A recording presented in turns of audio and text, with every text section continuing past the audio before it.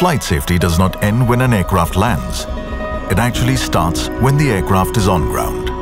Pre-flight checks are critical phase for any flight. See how our engineers, the unseen safety champions, keep our aircraft safe and reliable. The moment an Air India aircraft lands, engineers take over the safety baton.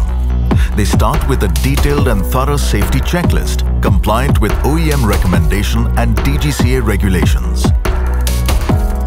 In the period between landing and next takeoff, the engineers follow a DGCA mandated checklist before certifying the aircraft as airworthy.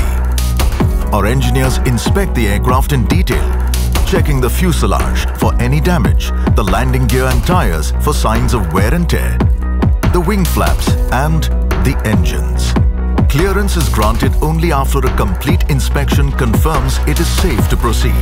Once the externals are certified OK, all internal systems are thoroughly checked in the cockpit, including avionics, communication, navigation and hydraulics. Then the team checks for cabin readiness, life jackets, doors and emergency exits, emergency lights, smoke detectors are all inspected. Only after the aircraft passes all inspections does the engineer give the go-ahead for the next takeoff. But these checks are not the only ones the aircraft goes through.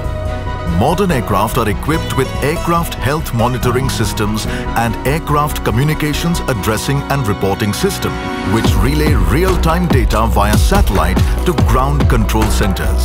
Even while in flight, the ground team remains actively connected to the aircraft systems. They remain in constant touch with pilots mid-air, ready to advise and intervene when needed.